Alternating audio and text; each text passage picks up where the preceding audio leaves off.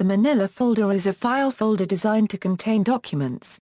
It is generally formed by folding a large sheet of stiff card in half.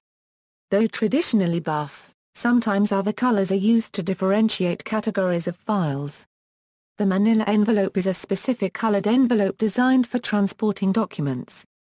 It is made of thick, durable manila paper and sized so that full sheets of paper can fit inside without being folded. As with the manila folder, it is traditionally buff in color, and often has a mechanism on the closing flap that allows it to be opened without damaging the envelope so that the envelope can be reused.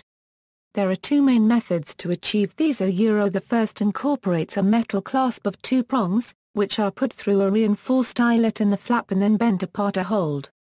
The other has a cardboard button secured tightly on the flap and a piece of string fastened on the envelope body is wound around it to form a closure. In a more general sense, envelopes made of brown, unbleached paper, used for cheapness, are described as manila envelopes.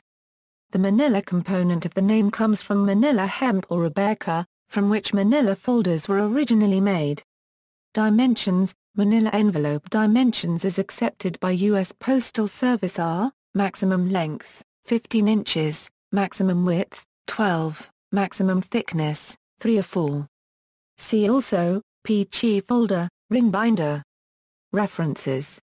U.S. postage rates and postal service state abbreviations.